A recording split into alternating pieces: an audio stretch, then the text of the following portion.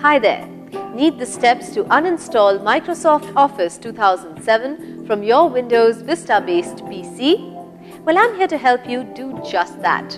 At iYogi, we help you with your technology related questions.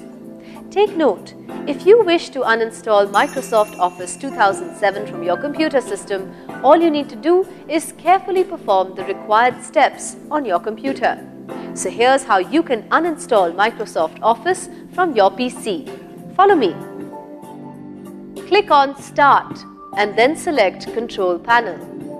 Under Programs, click on Uninstall a program. Select Microsoft Office Professional 2007 and then click on Uninstall. Click on Yes in the confirmation dialog box.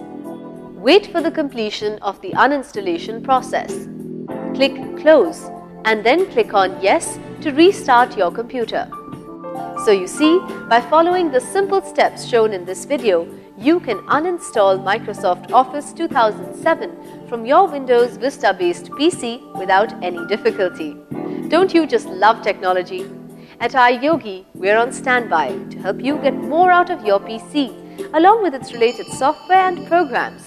If you have questions on antivirus, security, protection, or on how to work your other devices with your PC, such as syncing your printer, MP3 player, camera or router, etc., just give us a call. We'd be delighted to help.